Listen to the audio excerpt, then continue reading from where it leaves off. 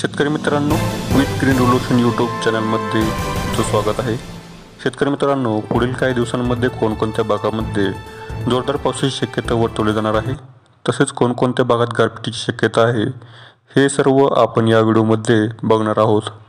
तर मित्रांनो व्हिडिओला शेवटपर्यंत नक्कीच बघा आणि आपली लोकेशन गाव तालुका जिल्हा आम्हाला कमेंट करायला अजिबात विसरू नका. मित्रांनो अजूनही आपण चॅनलला सबस्क्राईब केले नसेल तर करून घ्या आणि बघूयात कोणकोणत्या भागामध्ये पावसाची शक्यता आहे. मित्रांनो विदर्भ व मराठवाड्यात दिनांक दहा अकरा आणि बारा फेब्रुवारीला ढगाळ वातावरण राहील. कोकण किनारपट्टी व सोलापूर तसेच उस्मानाबाद बीड लातूर परभणी जालना तसेच पश्चिमेकडील नांदेड यवतमाळ वाशिम हिंगोली बुलढाणा अकोला व अमरावती या भागात तीन दिवस ढगाळ वातावरण राहील.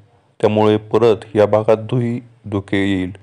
त्यामुळे शेतकऱ्यांनी आपल्या पिकाची काळजी घ्यावी असे हवामान खात्याचे आदेश आहेत. तसेच मित्रांनो दिवसाउन्हाचा चटका वाढल्यास सुरुवात होईल. वीस फेब्रुवारीपर्यंत रात्रीला थंडी राहील. उर्वरित भागात हवामान कोरडे राहणार आहे. राज्यात ढगाळ वातावरण व थंडीचा लपंडाव दिसेल. अचानक वातावरणात बदल झाला तर आम्ही तुम्हाला नवीन व्हिडिओद्वारे सतर्क करील हवामान खात्याकडून देण्यात आलेले आहेत.